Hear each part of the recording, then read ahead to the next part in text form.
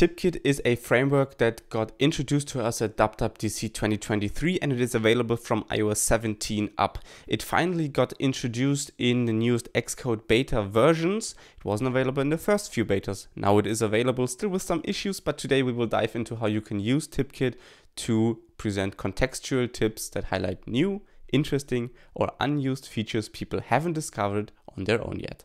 I will be placing all of the TipKit code in this content view file, but I would suggest you to uh, break it up into its own different files wherever uh, those things make sense. So that is up to you to do that on your own. For the sake of presenting in this uh, video, I will be placing everything in this single content view file. And to get started, I will be importing TipKit.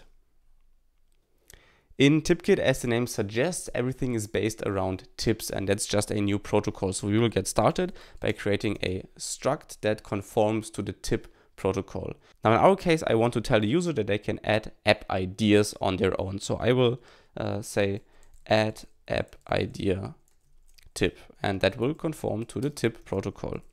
In order to conform to that protocol, we will have to implement two variables. First one is the title Second one is the message. And as you can see, both of these aren't strings. They are actually SwiftUI text.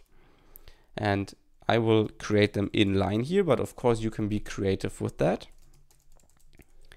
There are a bunch of additional attributes that you can implement and add to your tips to further customize them and you can have a look at these attributes in the developer documentation, which is linked right below the subscribe button in this video's description. For example, you can add images to your tips and a bunch of other stuff, but that's not important for us right now. So we will be focusing on the title and the message. So the title will be add an app idea and the message will be tap the add button to create an app idea. So with this very simple uh, setup, we already have created our first tip, the add app idea tip. Now there are a few more things we need to go through. We need to tell the app how to set up TipKit and when to present these tips. Then we also need to decide where these tips should be presented in our apps. There are basically two approaches to presenting tips. There is the tip view, which is just a regular Swift UI view. And I can show that to you, for example, here, if the user doesn't have any app ideas created yet, I could show a tip view giving the add app idea tip. And just like that, this view will be displayed to the user. A cleaner approach, in my opinion, is to attach it as a popover to a certain part of your UI. Now, in this example, I will attach it to my content unavailable view. So to do that, you have to use the popover tip modifier. There are a few different options here that you can, uh, or a few different parameters that you can provide here. I recommend that you play around with them, especially the action but we will go with the simplest setup, just passing in our add app idea tip to the popover tip. Just like this, neither the tip view nor the popover tip will actually display in your app because there's one crucial step missing. And after I show you that step, I will also show you how to create custom event-based rules to show these tips. That's very interesting, broken in the current version of Xcode 15, but I'm sure that will get fixed in the next beta version, so stick around for that. But now let's have a look at how you have to configure your app to actually show these tips. So in your actual app struct where you created your window group probably and have the content view in this case, I will first of all re-indent all of this because otherwise we will create a mess in a second. Here on your I would say, um, yeah, content view, your root view, you will have to attach the SwiftUI task modifier. This allows you to call asynchronous code when this view first appears. And the code that we will call is from the TipKit framework. So we will have to import TipKit at the top of our file here. And then we want to try to await tips.configure. So this is a function that we can pass a trailing closure to, and in this closure we can actually configure the TipKit framework. And there are basically two main ways to configure the framework. We can configure the display frequency. How often should any tip be displayed to the user? And if we just hit the dot here, you will notice that uh, either a tip will be displayed per day, per hour, per month, per week, or immediate. This is the one that I will choose just for the example of this video. So we have now configured the display frequency. You can also configure the data store location and the uh, basic one would be application default. As you can see, there are a bunch of ways where the tip data or the tip kit data will be stored. Nothing that we will play around in this video. And in most cases, application default will be just fine for you. So you need to make sure that you call tips.configure. Otherwise, no tips will be shown to the user. So let me now run this app on a brand new simulator that I've never started before. So this may take a second, but that ensures that we don't have any app ideas uh, yeah, created in this app on that simulator yet. So we will actually see this content unavailable view to which we attached the popover tip. It turns out that we can't attach the popover view to the content unavailable view, so I'm sorry about that. Instead, I attached it to an even a even better place, which is the add button in the toolbar down here. And as you can see now, immediately this popover tip got presented to the user with the title and the message. And of course, the user can close it and then it will be gone for good. They have seen the tip and it will not be shown again. And as you can see, I just closed the tip, started the app again. It's not showing again because the user did close it. They did see it, so it's not shown again. Now, this is the very simple and basic setup of how you can show tips as a tip view or as a popover tip in your apps.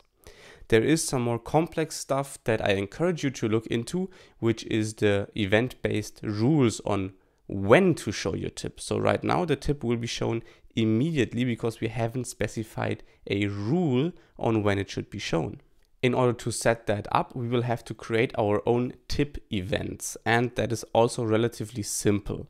Now, once again, I will put this in the content view file, but this is something that you should put in its own dedicated file. So I will create an extension on my app ideas manager app, which is the struct of the entire app. I'm using an intention on this type extension on this type just because it's easy and convenient to access. You might put these variables that we're creating right now in a totally different place in your app. So I will create a static constant and I will call this add or added app idea event. And you will understand why I call it like that in a second once we actually start to use it. This is a tips.event with an ID string. And as the ID, I will honestly just copy over the variable name here and use that as the identifier as well. That should be good to go as a setup. So now what we can do is in our app, whenever a specific action happens, we want to donate this int or this event, not intent, it's a tips event. So what we can do is uh, so this one should of course be donated when the user added an app idea. So uh, that happens in this sheet right here and there's a button to save an app idea. At the very bottom here I can say add app ideas manager app dot added app idea event. This is the extension that we just created with our static variable up here. And then I can just say dot donate as easy as that. And with that, we have donated it and that event will be saved to the data store location that we specified. In this case, we're just using the default location for this application. We don't even care about where it is saved. So basically now TipKit knows how often this event got donated. So essentially TipKit now knows how many app ideas the user has created. We can now use this to create rules for our tips on when they are displayed. Now, just be cautious. In this version of Xcode, which is beta 5, it is not uh, possible to create these rules, but I will show you the syntax either way. It just won't compile right now. It will compile in the next version. I'm pretty sure about that. It is a known issue. So to create these rules, you create another property on your uh, add app idea tip or however you call your tip struct. And that will be a var rules, which as the autocomplete already suggested is an array of rule. I will make this a computed property. And in here we can use the hashtag rule macro. Now this is exactly where it is currently broken because this macro is apparently not set to being public in the current version of TipKit, so we can't use it, but this is how you will use it once that is fixed. So we want to create a rule for an event. So we will say we want a rule for the app ideas manager app dot added app idea event. That's the event that we care about in this rule. And then in here, we get an event as a parameter. And let me refactor that to use the trailing closure as always, because I'm a big fan of that Swift feature. And in here, this is basically uh, just a bool expression that we need to return. So here we can say event.donations dot is empty. We only want to show this tip if no added app idea event donation has ever happened. So only if the user has never created an app idea themselves, only if this event has never been donated to TipKit, only then we want to show the add app idea tip. You can stack these and concatenate these, so you could create a second rule here to say and only if XYZ happens. So you can stack these rules here. Very simple setup. But as I mentioned, uh, this macro is currently broken in the version of Xcode that I'm recording with. It will be fixed in the future. That's pretty much for certain. If you're interested about what this App Ideas Manager app is, then I recommend you to watch my Swift Data course, which is a almost one hour long free course going in detail on the new Swift Data framework and how you can use it to build your own apps for iOS 17.